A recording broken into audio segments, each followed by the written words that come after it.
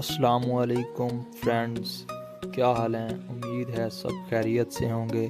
تو آپ لوگوں کے لیے میں حکومت پاکستان کی طرف سے اناؤنس کی گئی ایک اپلیکیشن کے بارے میں بتانے والا ہوں۔ کچھ لوگوں کے میرے پاس ایس ایم ایس آ رہے ہیں کہ ہمیں سمجھ نہیں آ رہی۔ تو اس لیے مجھے یہ ویڈیو بنانی پڑی۔ تو ویڈیو کو سٹارٹ کرنے سے پہلے میرے اس چینل کو سبسکرائب کریں لائک کریں اور شیئر کریں اور بیل آئیکن کو ضرور پریس کریں۔ تو سب سے پہلے آپ نے پلے سٹور پر جانا ہے۔ اس کے بعد حکومت پاکستان کی طرف سے دی گئی اپلیکیشن کو انسٹال کرنا ہے۔ اس اپلیکیشن کا نام ہے میں نے پہلے انسٹال کی ہوئی ہے۔ امداد انصاف کے نام سے۔ جی۔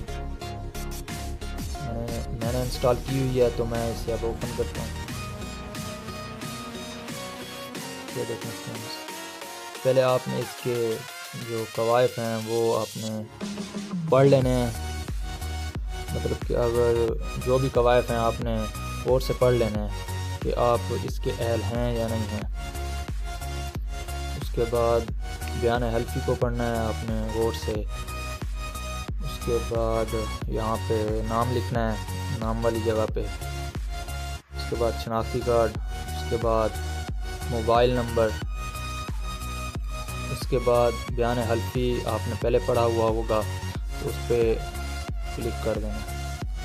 پھر آپ نے درخواست جمع کریں، اس پہ کلک کر دینا۔